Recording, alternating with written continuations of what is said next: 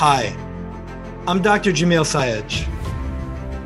And on this podcast, we're going to talk about some deep stuff. I'm here to tell you that you're amazing. And often, the only person who can't see that is you. No matter who you are, what you do, or where you're from, there's greatness in you. Let's talk about it. Hey everyone, I'm Dr. Jamil Sayegh, and welcome to the Transformation Starts Today podcast, where I interview leaders, champions, and high performers from all walks of life as they share their stories, the lessons they've learned along the way, and empowering perspectives to help you create an extraordinary life without regret starting today. Today we have Christine Dorocki with us. Christine is a highly sought after certified yogi with over 500 hours of teaching teacher training, cosmetologist, and certified Ayurvedic consultant who helps people, especially women, to be beautiful inside and out.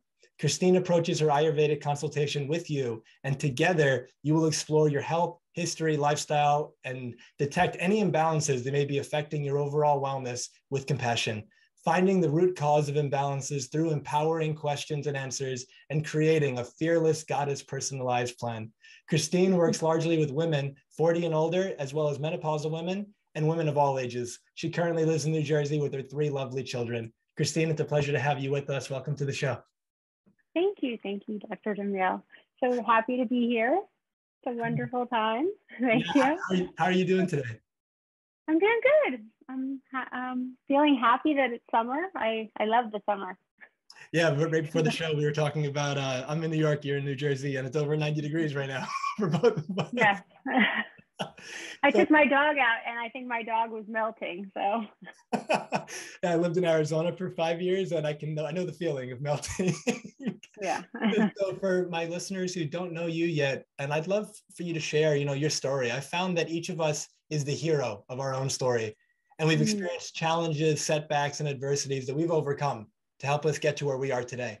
So if you would please share with us, what is your hero story? So for so many years, I, I was sick and I just kept going to doctor after doctor, trying to figure out w- what was wrong with me. And I got misdiagnosed and that went on for several, several years. And I got to the point I couldn't walk. I just, my relationships were suffering. And I kept hearing the message go to yoga, go to yoga. So I decided to listen to that, you know, internal voice, which I wasn't listening to for a very long time. Mm. And once I got to my mat and I just kept going back to my mat over and over, um, I started to feel better, not only physically, but also in my mind, you know, in my my spirit. I wanted to do things again. I, I felt more alive. Um, so I started to do my, I did my first teacher training because I really loved the, the teacher and um, she embraced me with such warmth and compassion. And I, I needed that.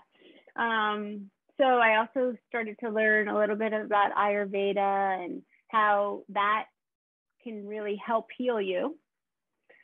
And I started to, I just started to get better and better.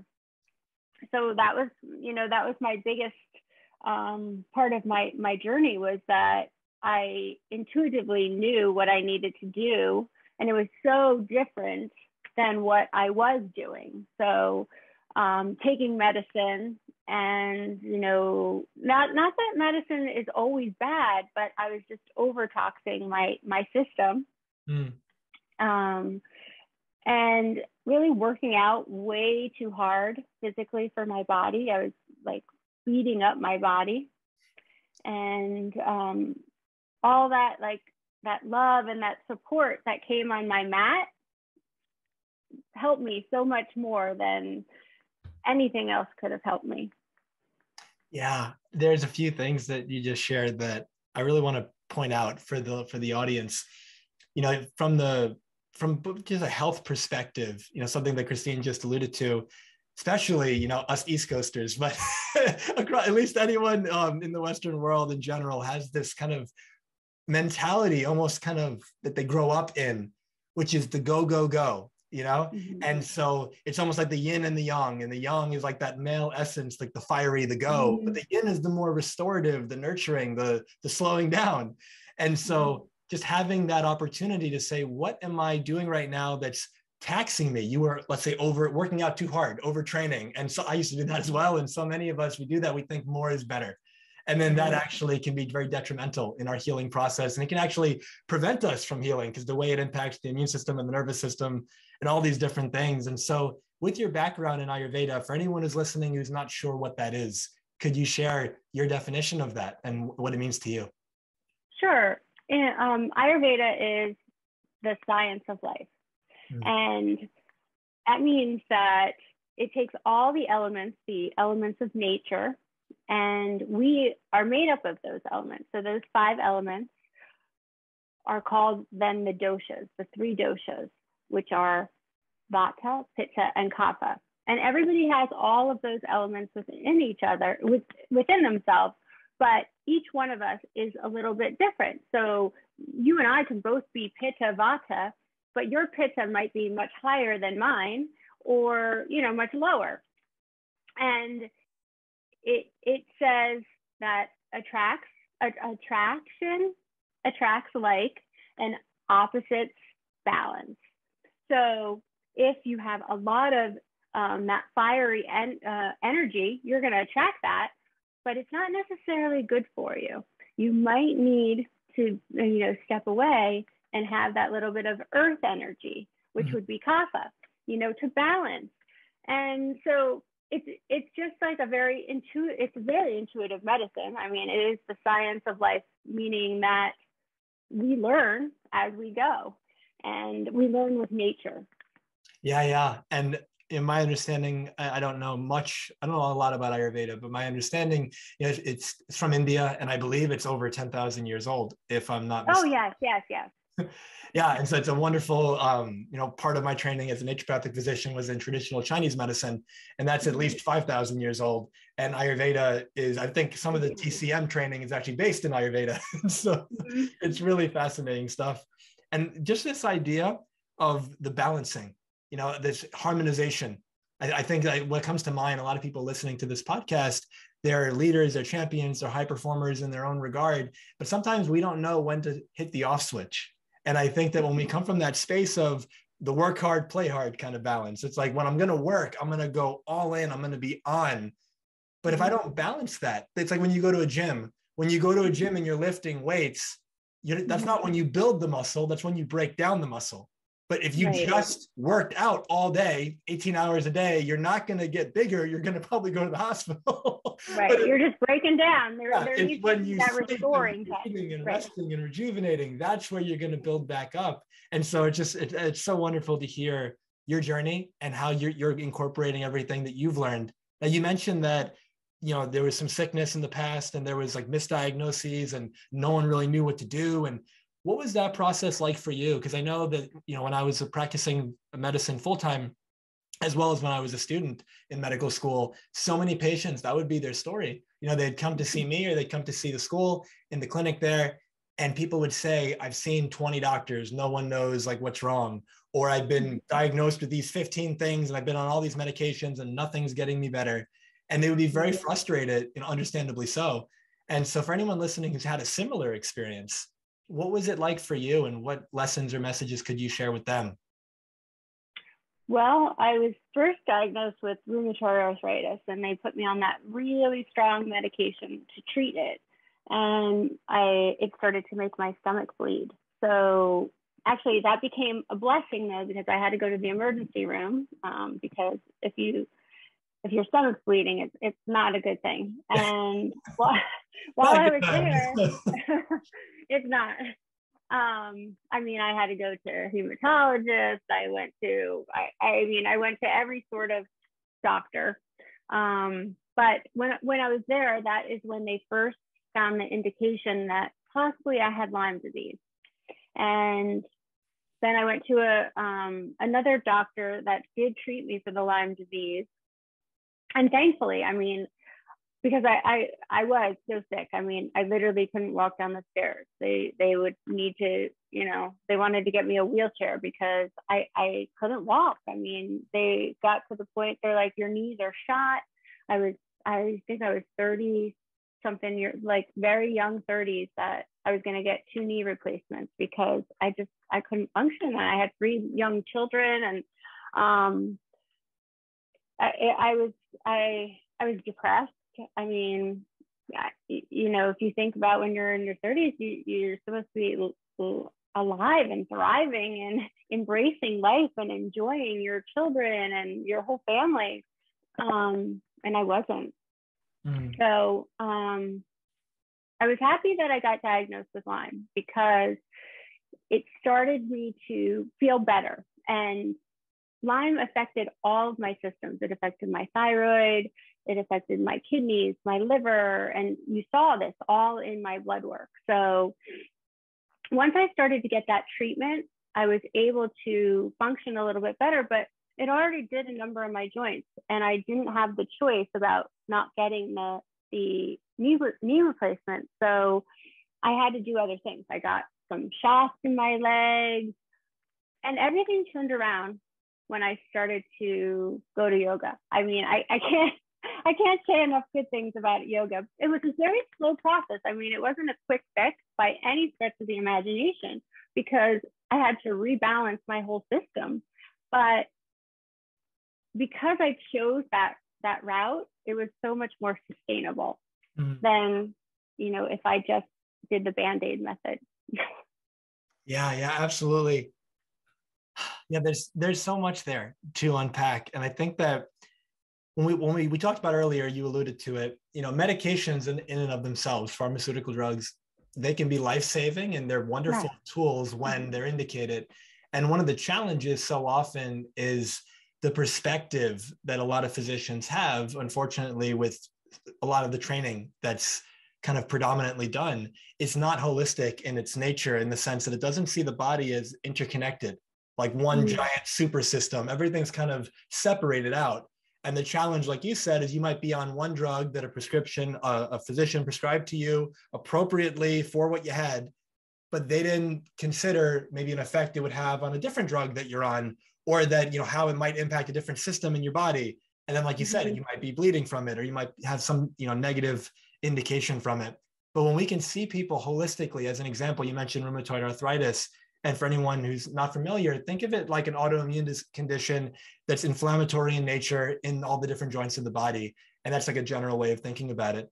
And not always, but very often I have found autoimmune conditions have a mental and emotional component to them. And I hmm. remember working with patients who had been abused when they were children in many different ways, and their rheumatoid arthritis or different autoimmune conditions started in their 20s. And when I took them through a process of emotional release work and forgiveness work, their autoimmune condition went away. Now, the thing is, mm. that's not always the case because it depends on what the cause is. But when we can right. really take a step back and who, you know, whoever your physician is, whoever your healthcare provider is, are they looking at you as a whole person? Are they mm-hmm. looking at you and not just saying, oh, you've got hepatitis, so you're like my liver patient? No, like you're a whole body. You're you're a you're in my experience or in my belief rather, you are a spiritual being having a human experience. You have a body. You're not the body. And so from mm-hmm. that way of being, if we were to use that as a premise, you've got a whole story of life that led you up until this moment, and that's contributed to why things are the way they are right now. Dr. John Sarno, he wrote a book, I think it was in the 90s, but it might have been earlier, called Healing Back Pain. And he talked about how any pain that's still around six to eight weeks after the onset, after it first starts, is largely psychosomatic. It's largely in the mm-hmm. mind. And he would get people off their pain medications and heal them so often. And people would, now that he's no longer with us physically, people would read his book and they would apply his techniques and it would work for them. And so mm-hmm. again, it depends on what the cause is, but all, all that to say, treating people holistically, like you said, yoga helped you get back into balance. Mm-hmm. And balance is the name of the game. To me, it's like symptoms are the body basically yelling at you saying, hey, pay attention. Something's right. wrong, something's off, something's out of balance. But mm-hmm. in general, you know, we don't like to feel symptoms. And so we take medications. You mentioned the band-aid approach to suppress mm-hmm. it because we don't want to deal right. with it. But if you don't deal with it, it gets worse. But if you do what Christine did, and she said it wasn't an, an, a quick fix, it was a long journey. But mm-hmm. I'm sure anyone who's taken that journey and is on the other side of it and feels so much better to tell you that it was worth it. right. Yeah. I mean, now every morning I, you know, do a check in with myself. Okay, what what is my body saying to me today? Are there any symptoms? You know, asking for that actual feedback because our physical body is gonna give us that feedback. And the thing about Ayurveda is it takes all of you into consideration. It isn't just, oh, I have arm pain, oh, I have foot pain. There's there, it's all of you, you know. And that's just what you said. It's it's the truth. Like you have to. You have to look at everything. You can't just look at the one symptom that you're having. Yeah, and as it relates to, you know, your journey and I'm sure so many people who are listening because it can be a long journey and because it can be frustrating at times and there can be the highs and the lows and we think we're getting better and then we don't or we think you know we're in the we're in the low side of it and we're like nothing's working or maybe we're depressed maybe. Mm-hmm. for anyone who's going through those experiences right now if you could draw from your own experience and say like what are some messages you could share with them to support them on their journey whether they're on a low or whether they're on their way up back up? Sure. I mean I had times that it the symptoms came back. You know, when I was under so much stress, each one of my pregnancies, I my body then afterwards was tired and my symptoms came back. But I had those tools to know what I needed to do to get myself back into balance. And again, it wasn't, you know, a snap of the fingers, easy fix. It took a, you know, it took a little bit of time, but it's like that soft nurturing that you have to give yourself and listening of what you you actually need you know rather than going full force um, and killing yourself y- you do have to step back and you know be a little soft and forgiving with yourself when when you do when something when a symptom does show itself you know? Mm something that you just said that I really loved the, the idea of forgiving yourself. And another way that I might put it is having grace with yourself throughout your process. Um, I remember when I was in medical school hearing a physician, a teacher of mine saying, it's like, look, it took you 40 years to get to where you're at right now. It's not going to be gone overnight. exactly, right. and yeah. And if we can just come from that space of proper expectations, might be a way of putting it, where, yeah. okay, I might be in my 30s, my 40s, my 50s. I could be younger, I could be older, but regardless, nothing that I'm experiencing now, pain, condition, symptom, whatever it is, just happened. It's built up over time. And using an, a naturopathic or an Ayurvedic kind of perspective, it's like the system's been out of balance and now it's adapted to try to still function uh, with mm-hmm. that like um the non-optimal situation going on. It's trying to adapt and still do what it has to do. And our bodies are incredible that despite how unhealthy let's say the average at least american is they still on average live to be about 78 to 82 that just shows how incredible and how resilient the body can be. But you may have a lot of symptoms in that experience. And so when we can just slow down and say, you know what, let, let me take care of myself, let me have grace with myself in my process and realize it's not going to happen overnight. It's going to take some time, but it'll be worth it because the time's going to pass anyway. So right. if I tell you, hey, it'll take you 10 years and you're 40, it'll take you 10 years to get back to where you want to be. And you might initially go 10 years, that's a lot of time. Okay, but 50 is assuming you're, you survive, 50 is going to happen would you mm-hmm. rather be 50 and be feeling great in your body or would you rather be 50 and still feeling sick or probably feeling worse and when you mm-hmm. realize it from that perspective it's like okay it's going to be worth it and then just for me it's like taking a like a triangle approach almost of a mind body and spirit and mm-hmm. you mentioned you mentioned journaling i think you said that what are the ways that we can speak to and and support each of those legs of that triangle you know mm-hmm. physically mm-hmm. are you sleeping are you eating good food are you hydrating but then, like, right. are you in the sun? Are you moving your body? But then, when it comes to the mental side, like you said, stress, stress can flare up so many of our health conditions. And I, I think this was a World Health Organization statistic, but I may be wrong on it. But the idea is that about 80% of um, chronic disease can be linked back to stress as one of the primary causes. And yep. it, it's, it's in the ballpark of that if it's not spot on, it's around there. And when we realize, wow, okay, given that that's the situation, what am I doing to deal with that mm-hmm. stress. What what are my relievers? Am I going on nature walks? Am I exercising, which is an amazing way to get rid of stress? And my mm-hmm. speaking with friends and laughing? and my journaling? All these different practices. I'd imagine in your situation, you took a very you know holistic approach to combat everything you were experiencing. Would that be the case?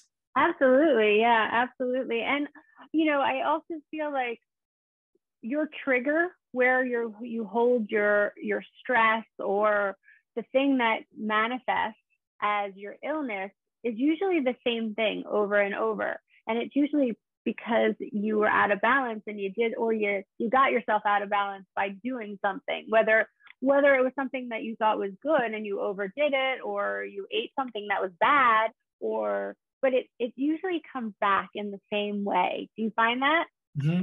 yeah you know yeah. using like the metaphor of a building let's say you have structural integrity and so mm-hmm. if there's an area of the of like you know um sorry I don't, I don't know the technical terms for these. The beams you know that are supporting the weight. If there is areas of weakness that's where a collapse would happen. That's where the weakness right. is. But the body is the same way. If you've got areas of weakness because of the maladaptations and injuries and all these kind of things those are typically the areas that collapse first. Those are the areas that aren't as resilient right. and robust. And so yeah i've definitely seen that happen. Yeah so i mean it it's good like that awareness in itself i think is a gift because then you you you know and you can do something about it. When you don't have that awareness or, or that yeah that awareness i think is is a huge thing. Um just like that i know when i get out of balance it affects my knees. That was my weakest point in my my body. And now I can say my knees are good they're strong and um, i'm not i'm not running my you know six to ten miles anymore. I go for long walks and i love it um, but i know if my knees are talking to me there's something that i did that didn't really relate so much to my knees but that's where that's where my body will talk to me the most yeah, something that you just said alludes to something you started with. You said, if my knees are talking to me. And then you said in the beginning, this idea of that voice that was like, you should do yoga. And we don't mm-hmm. always listen yeah. to the voice. right. No, I've definitely found that in my own life as well. And anyone who is listening to this podcast and they've heard different episodes, the first episode is where I share my story. And one aspect of it was for a period of time ignoring that voice. Mm and then mm-hmm. thankfully listening to it as it started to yell at me and right. that I made the right choice for me in the life that I live now. But when we yeah. can slow down and say, okay, something's calling to me for a reason, like pain, as an example, using it's an easy example, pain is your body calling out to you that something is not right. Something needs to be paying, you have to pay attention to something. So, mm-hmm. like in Christine's situation, if I walk and my knees hurt, okay, something is going on either in the soft tissue areas, the, the ligaments, the tendons, the bone itself, the joint, something's going on there and that needs to be addressed. Otherwise, it's not going to get any better. But then it could also be a, a mental, emotional side. You know, mm-hmm. like every day you wake up and you hate going to work.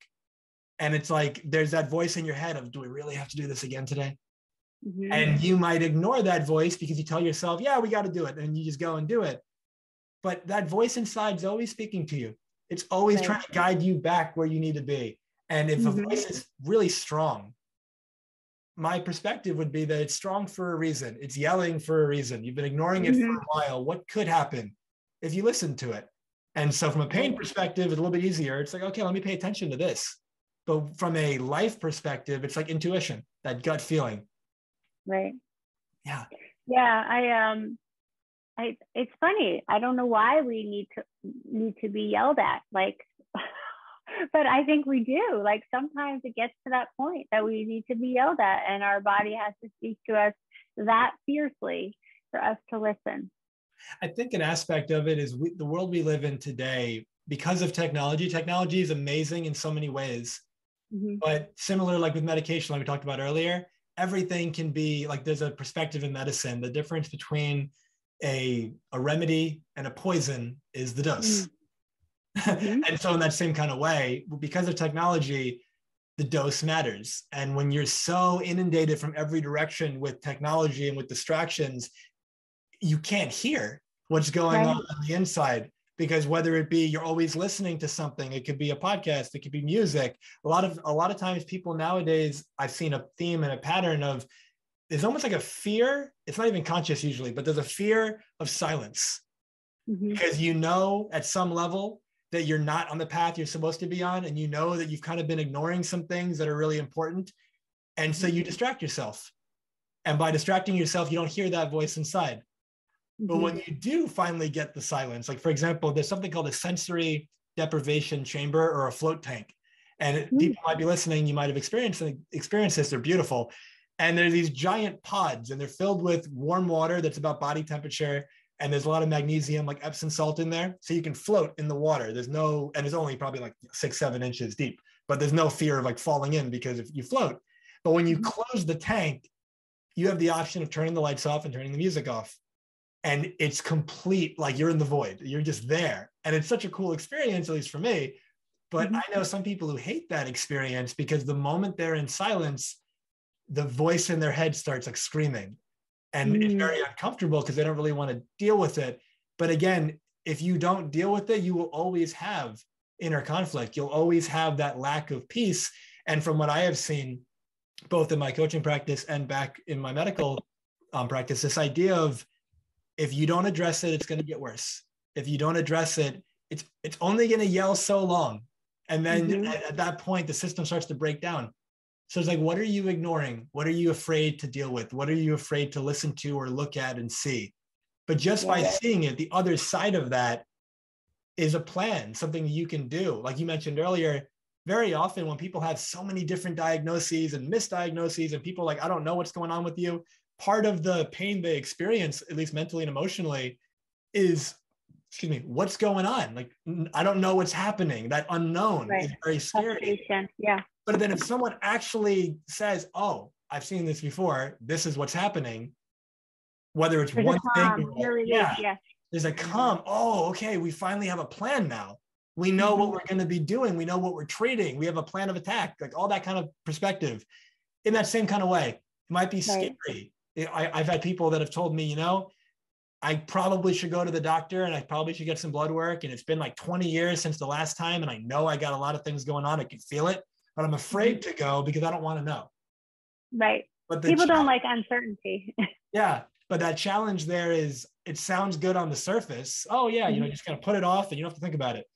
But then you might have been able to prevent something early that now will, will go on late stage because you waited so long but if you do go and you get the blood work and you get the physical exam and they and they let you know this is what's going on now you can actually do something about it and now you can get it, right?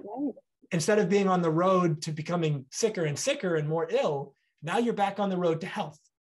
And so that last aspect that i'd like to share before i send it back to you is whether it's an ayurvedic practitioner like christine whether it's a naturopathic doctor whether it's a functional medicine doctor work with a healthcare provider who's going to treat you in a holistic fashion, is going to take everything into account, because that's what's going to really bring your body back into balance and what's going to give you the greatest opportunity to heal. Because unfortunately, at least in the United States where we live, there's so many physicians, the majority, the vast majority, amazing hearted people that got into it for the right reason.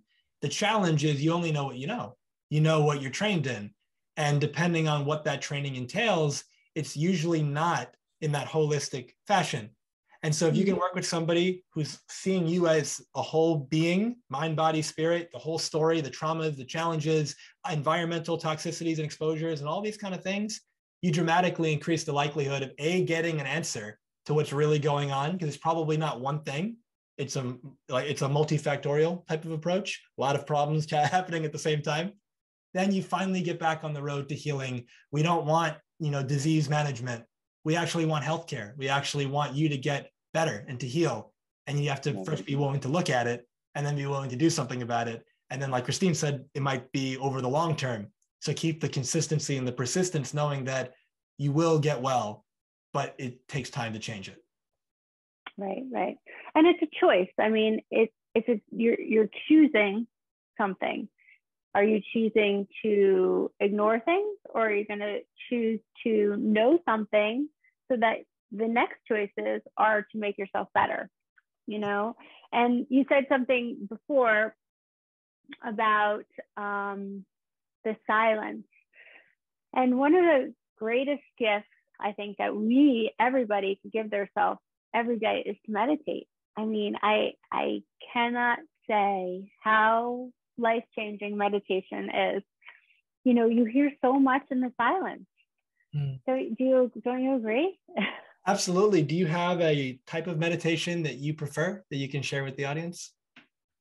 Um, no, I mean, when I meditate, I guess it just depends how I'm feeling that day. I usually start my day with my meditation. Mm. Um, and sometimes I'll end my day with meditation and do more like um, recapping of my whole day at the end of the day, like how my day went, and just then offering gratitude and prayers. And when I start my day, it's um, I open it up to the universe, God, and and offering my prayers and gratitude, but then asking what I'm supposed to do today and how I'm supposed to show up and show me, show me the, you know, what you got, what's the best thing that you have for me today, and where should I go, you know, like those kinds of things. So, and then I just allow myself to sit there for anywhere from 15 to 30 minutes, depending upon how long I have. And um, yeah, I I mean, I love meditating. Yeah, yeah. I, could, I could do it for an hour, but I don't. No, it's perfect. And something that I utilize that may benefit people who are listening. So if you don't meditate, it's not that you have to, you know, nobody has to. There's different ways of kind of incorporating what we're about to say. But just this idea of meditation, there's so much research behind it to show the way it impacts the immune system, the way it actually shifts the brain and like the composition of white matter and gray matter and all this like the tissues in the brain. It's really cool. And think of it, we said this world of distraction, this world of kind of the fear of that silence. So when you meditate, instead of going outward, you're taking a moment to go in. And if you were to mm-hmm. sit there, close your eyes, and in the beginning, if you're not used to it, you might think, I've had people say to me, well, isn't meditation, I'm not supposed to think. And I, and I tell them, no, because if that's what if, if you sit there and you and you say, all right, I'm not supposed to think, and then a thought pops up, you're going to judge you're yourself you're going to get bad you're going to say oh my god it's happening. It's not supposed to be happening. And then you're like yelling at yourself stop stop thinking. And the more thoughts come because you're in resistance to it. So a way that i have found to be just really simple and practical so there's two aspects to this the first is the idea of a brain heart coherence mm-hmm. the body is not just you know chemical, let's say, it's electrical. And when you can measure the heart and the brain with a, an EKG for the heart, electrocardiogram, and an EEG, electroencephalogram for the brain, it's these tools. And when you actually breathe a certain way, the the, the two readings actually come into harmony. And when they're when they're moving like that, the immune system boosts, you feel so much better. The peace and the calm is overwhelmingly beautiful. And so one way to do that is you breathe in through your nose I'll use two different versions of it. One is a little bit easier. You breathe in for about four seconds, let's say through your nose, hold it for mm-hmm. one second, and then exhale for six seconds. I prefer to do all of it through my nose. Some people say in through your nose, out through your mouth. It just depends on how you want to do it. But you do four, four in, hold one, six out. And you close your eyes and just focus on your breath. And as you breathe in, you can say it in your mind, in. And when you breathe out, you can just say out. And then mm-hmm. when that feels easy, then you can raise it a little bit by doing six seconds in, hold for one, out for eight. The reason why the exhale is longer is it shifts the body, it shifts the nervous system into what we call a parasympathetic state, where it's more rest and relaxation. That's where you can heal. Mm-hmm. And so, mm-hmm. so often when we've got medical challenges going on, our body's in this like sympathetic tension kind of state. And so excuse me, we're always on. And because we're on, the body's not really able to heal. When I say on, for everyone who's like hearing this, think about it like this. Back in the day, I make this distinction between new stress and old stress. Back in the day, caveman times, you know, there you were foraging for berries and you were in a, you were slightly in your sympathetic state because you're looking around, you want to make sure everything's okay, but you're, you know, you're eating, you're foraging for stuff. And then you hear a twig snap and it's like a rabbit. The ears shoot up and you look. Run, run, run. Yeah, yeah, you look and then you see like the hyena or the lion or whatever in the bushes looking at you and you take off and your body goes into full on sympathetic fight flight freeze and you just you're you're running let's say you're, you're in the the flight side of this mm-hmm. and the thing is that assuming you get away that period of time your body was 100% all of our energy send it to the muscles we need to get out of here it's not let's focus on fighting cancer let's focus on digesting your food none of that matters if you're going to die in five seconds you know so it's all about let's get out of here but then you get away and your system settles. And so most of the time, the system is either in a parasympathetic, relaxed state, or at least more of a neutral, balanced state, where more mm-hmm. often than not, you're not in that sympathetic on state. But the world we live in now, even though for the, for the vast majority of us, that lion's not there, literally, it is there metaphorically, because we mm-hmm. treat our my, our brains have not evolved with our technology. We got the same bodies that we did, you know, a couple million years ago. and so, with that in mind, when you're stressing out about your finances, when you're in uh, traffic and you're getting some road rage, when you know your friend um, gives you a hard time, or you had a breakup, or you're having stress with your kids, or you have health concerns, all that is the body's same response. There's a lion.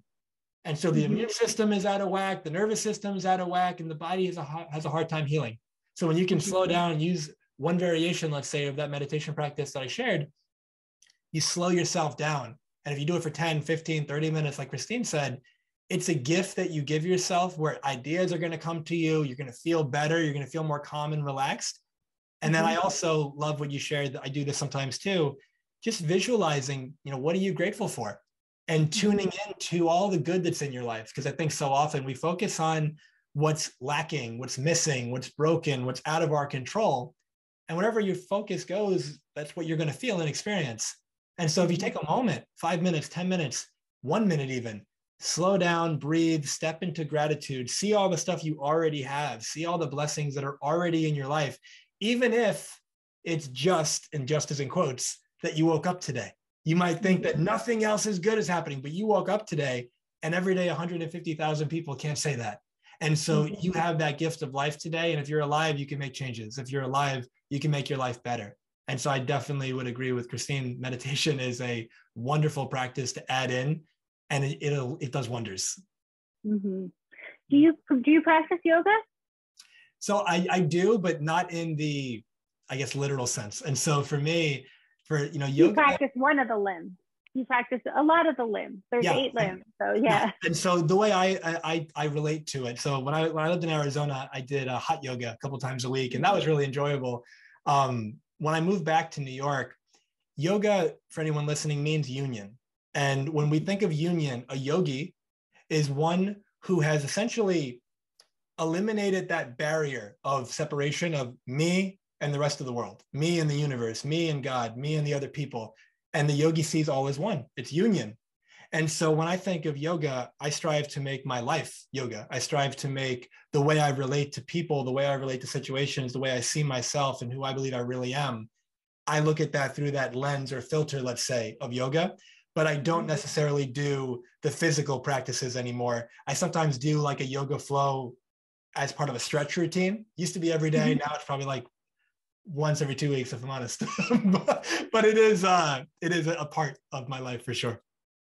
Yeah, because you were saying a couple things that I was like, oh, you you were saying that the mind chatter is called like the chitta vrittis. So I was like, oh, I wonder if he knows that they're that they're called the chitta vrittis. Mm-hmm. And um, the that we always say um, our issues wind up or our our issues start in our tissues. Um, you said something about you said something about that because our physical body, you know, is the the our shell that we can, you know, feel and notice so much. Um, but yeah, I was just wondering if you did you did yoga because um, there's a lot that you said that I was like, hmm, I think he is a yogi. Many of my mentors that um, I love, I love these people, and getting to either read their books or watch them and experience them, and they're the the life philosophy, their spirituality, if you want to call it that, the way they see themselves in the world. You know, I've deeply studied their work and made it a part of me, and it's mm-hmm. um, you know, I, I'm I, have had people call I, am a yogi in a different way. yeah, yeah, that's good. Yeah. Um, so the other thing I wanted to say, like a lot of people I know they feel like I can't meditate. They I hear that a lot. I'm sure that you do too. Um, and there's so many great apps that you could do guided meditations too. It's just so beneficial to, to meditate. It, it really, you can see, you see a change in your day. If you start your day with it, just if you write it down, oh, I meditated today, and then notice how that day was, then on the day that you didn't meditate, you'll become a fan too, I think, you know? Yeah, you mentioned apps. So there's one that I've used in the past called Insight Timer that I know a lot of people have gotten benefit from. And there was one I used to um, recommend to patients when I was in medical school called Calm. Um, yeah, that's the one I was going to say, Calm. Yeah, and I, there's definitely a bunch more. But mm-hmm. it's amazing because again, if, if silence is the challenge, or if I can't get out of my thoughts, like Christine said, whether it's music and there's a mm-hmm. timer in the background, like with Insight Timer, or whether it's actually guided and someone speaking and taking you through like a process. Mm-hmm. You can go on YouTube even and type in, you know, guided meditations. Like right. they're, they're, everywhere. And if you were to do that, again, start small. I would mm-hmm. definitely implore everyone don't fall into the story of, I tried that once and it didn't work for me, or I'm not good at that. Because the truth is, nobody who tried something once is good at it. And just because you tried it and it didn't work, it doesn't mean it doesn't work. It means the way that you did it didn't work.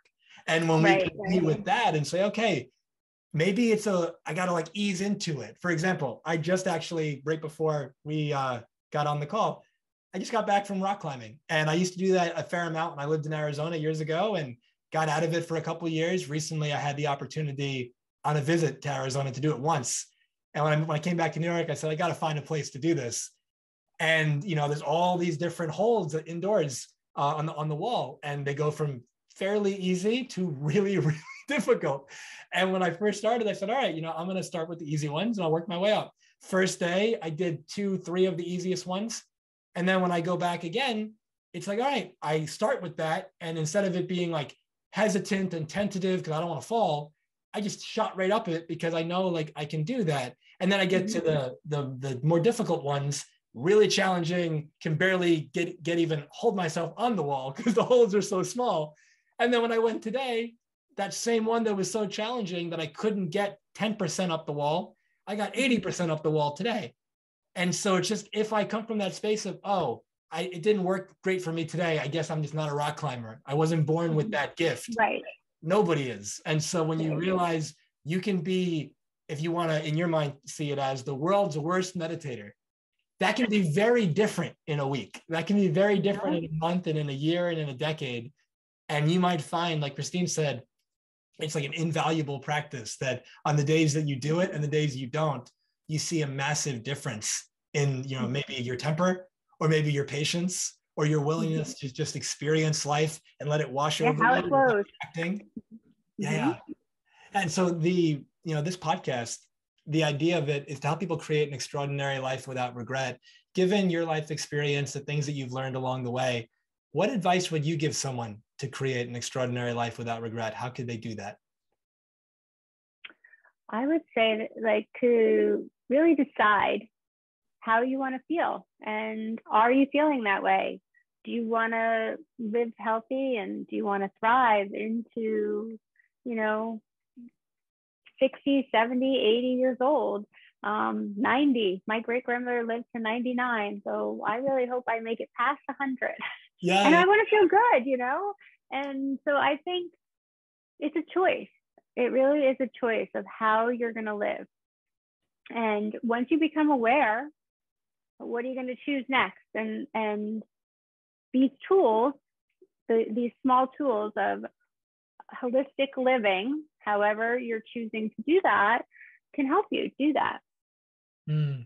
yeah when i lived in arizona there was a man i didn't get the, i didn't get the opportunity to meet him unfortunately but one of my teachers did and he passed away i think in 2015 when i was a mm-hmm. second year and he was 114 years old and he was mm-hmm. i think he was the oldest man in the united states and um, I think some people were saying it was unofficial because they couldn't get a birth certificate, but 1901 is when he was born. Yeah and the guy's incredible and he had a book and he still does and you look at this man and it's like you said health is a choice and it's like the choices that he was making day by day now somebody might be hearing what I just said, and that might trigger them because they might feel really sick right now and they might feel like they're really hurting.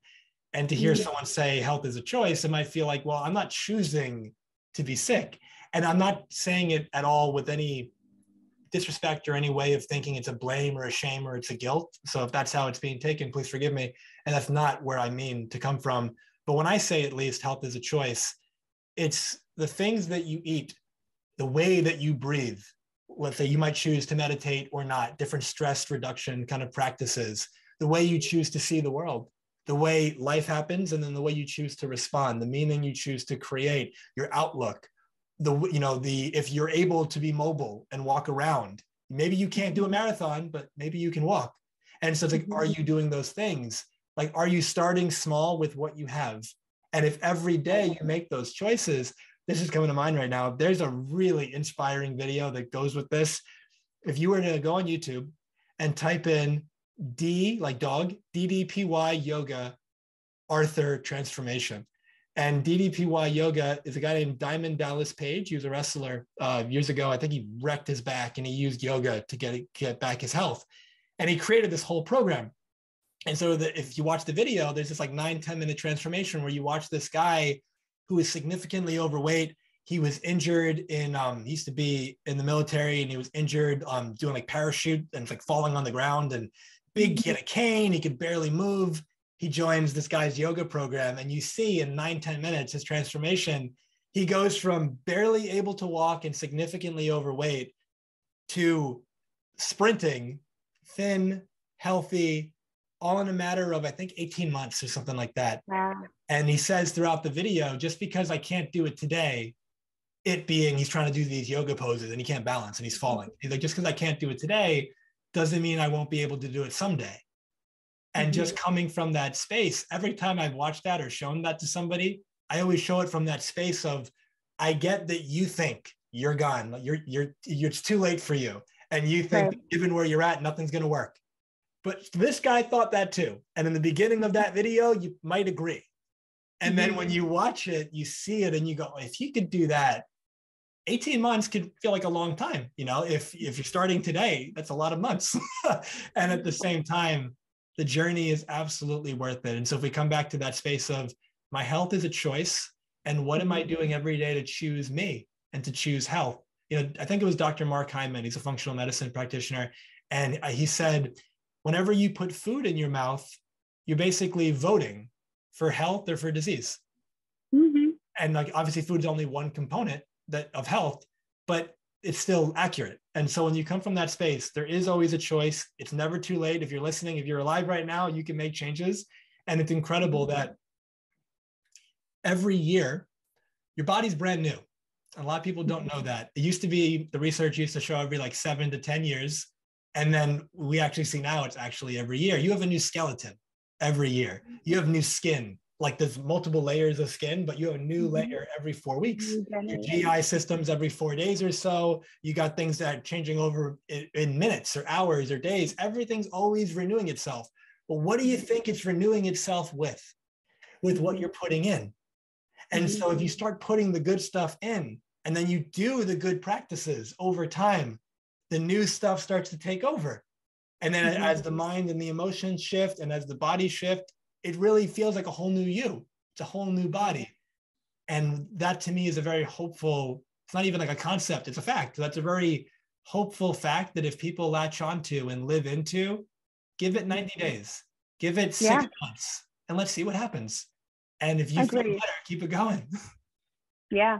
I I have to say, I know personally, like when I have been in that space of feeling so sick and terrible, it's it's almost easier to stay in that darkness though. Like it takes a lot to remember your own light, but meditating will remind you.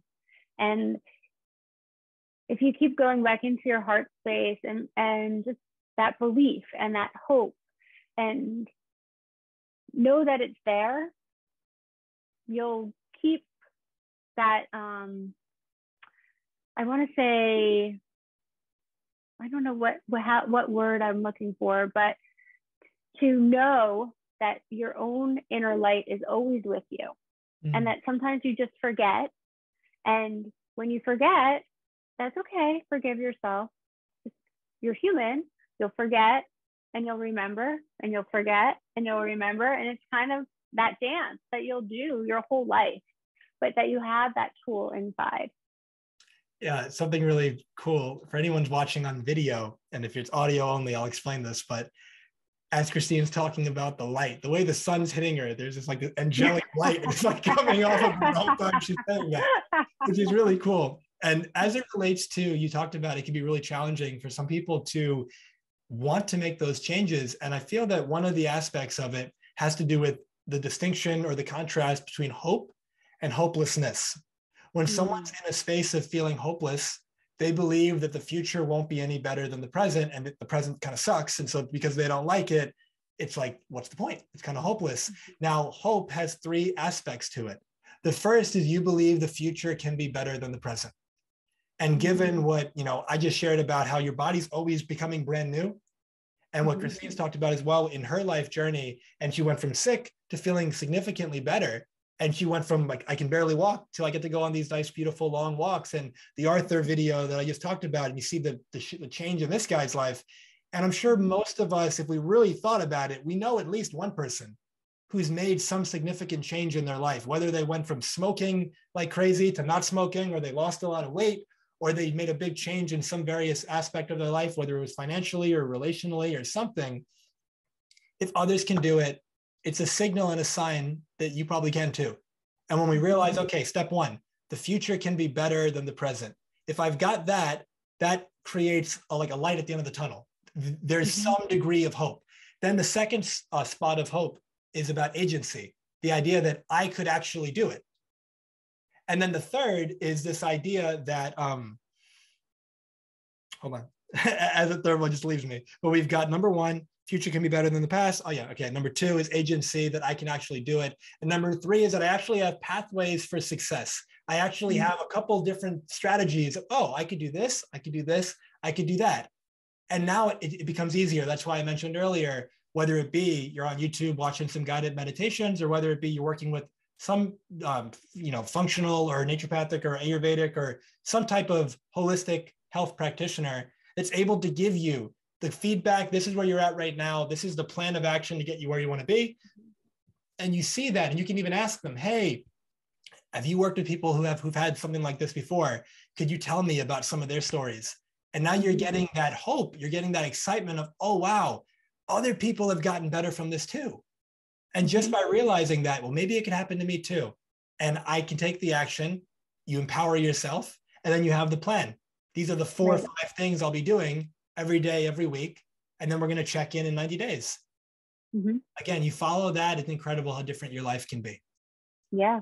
And then, you know, you have those tools. So when you do slip up, your bounce back time is shorter, you yes. know, and just to know that, like, that's that's a very hopeful thing too. Absolutely. It's funny too. It's like uh, I just you bounce back. I just made that connection, like the rock climbing connection of yeah. I've been watching these people climbing and they're mm-hmm. hooked into the wall. So if they fall, they're okay. And they climb, they climb, they climb, and then they're at that point where they have to really reach for it, and then they jump and they don't make it and they fall. but then they bounce back faster because they they know the route up until that point. Right, right. You know, it's like if you mm. fall, you get back up. It's just a part of it's a part of life. And so, something I'd love to ask you, Christine, if you were in your final moments and this was your last opportunity to share and help anyone listening, what would you want to make sure they know? I would say to choose you, that you are worth it. Mm, I love that.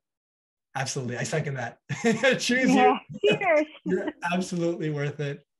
And again, you know, if you don't choose you, no one else can you know like you need to choose you and you need to have that and i use need in quotes but it's like you know you don't need to do anything but you need to choose you. You choose yeah. yourself and you say okay i'm worth it. And if i take care of myself it's not just me. Expand it. Maybe you have kids. Maybe you've got people that rely on you at work. Maybe you've got friends. I remember hearing uh, abraham lincoln you know he ran for office many times and he lost. I think it was like 15 or 16 times. And one time uh, after he won presidency somebody said to him what helped you keep going? Like, why didn't you quit? And he said, well, I had a, he said, I had a friend who was counting on me and I didn't have the heart to let him down.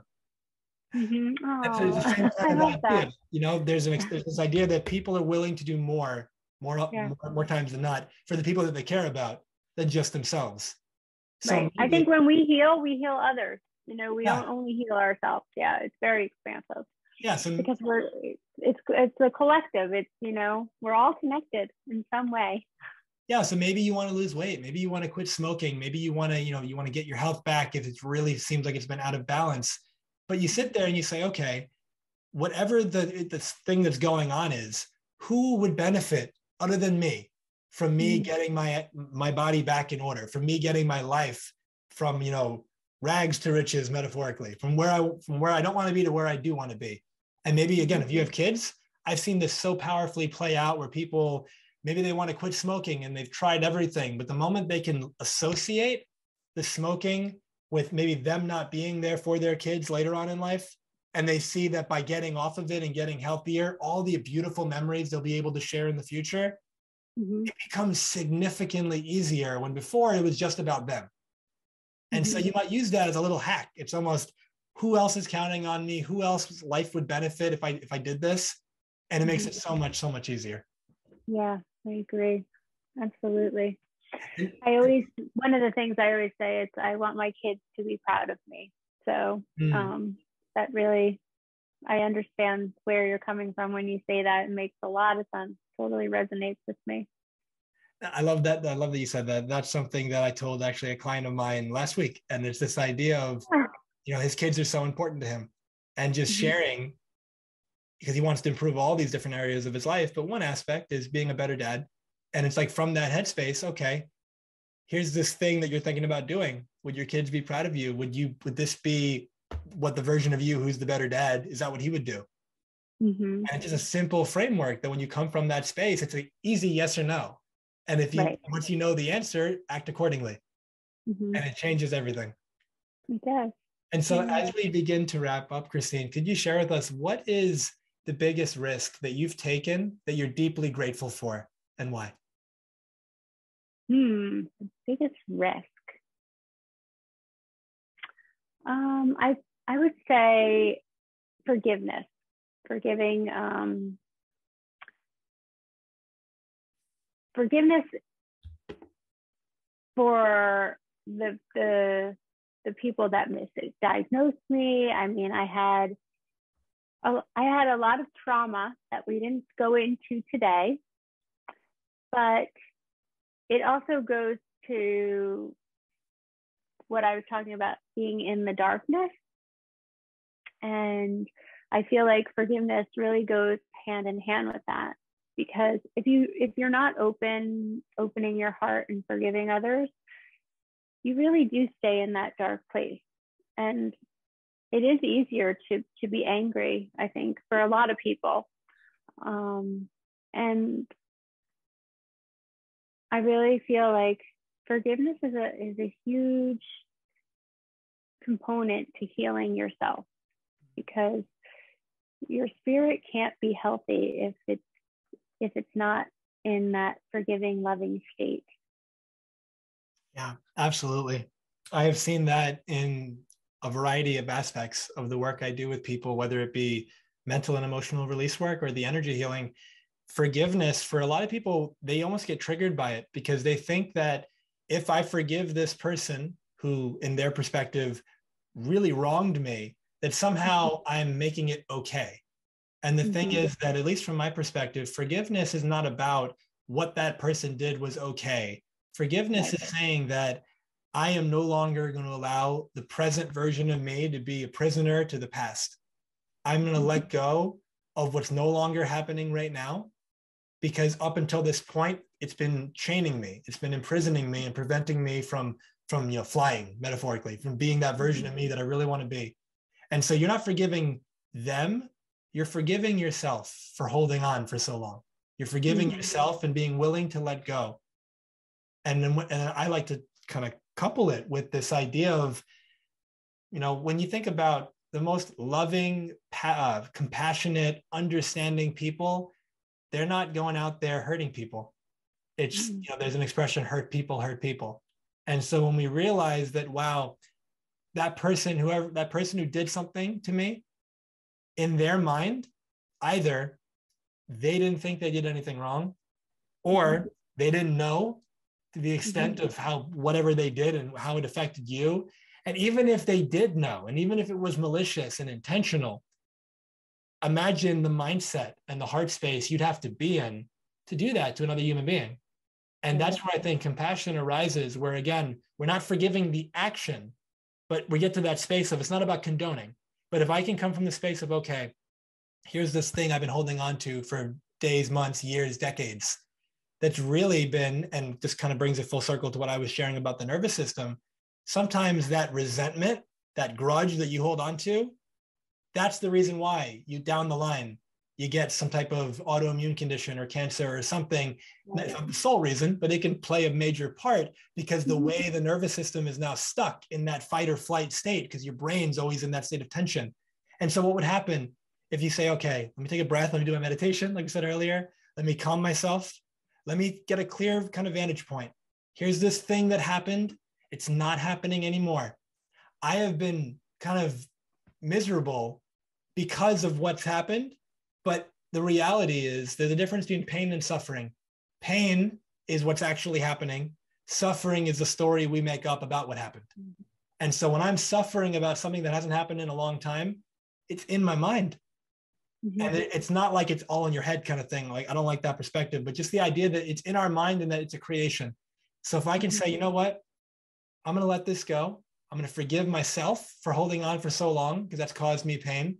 I'm going to free myself from that. And then if you can go a step further, I'm going to give forgiveness and compassion to the other person because, wow, in order for them to do that to me, they must have been hurting. They must have been in a really ignorant space. They must have been in a space that I don't wish on anybody. And I hope they find peace. I hope they find forgiveness. I hope they find love and happiness. If and it might be a stretch to get to that point depending on where you're at right now. But if and when you do get to that point the release that you feel it's as if the weight of the world is off your shoulders. It's as if it happened and it's okay. Not what happened was okay but it happened. It's in the past and you're okay now. And because you're okay now you can move forward. Yeah right. Acceptance it's a huge thing. You know accepting what happened and and just then living in the present moment just like you said. Mm. earlier you mentioned uh, you talked about the doshas and i mm-hmm. understand you have a dosha quiz. Can you share that with our audience? Um, i do. You can um, go to my website and shoot me an email at ignitedgoddess at gmail.com and i'll send you a complimentary dosha quiz it's fun and you can find out what you're dominant in. Mm. And then um, I will share the results with you.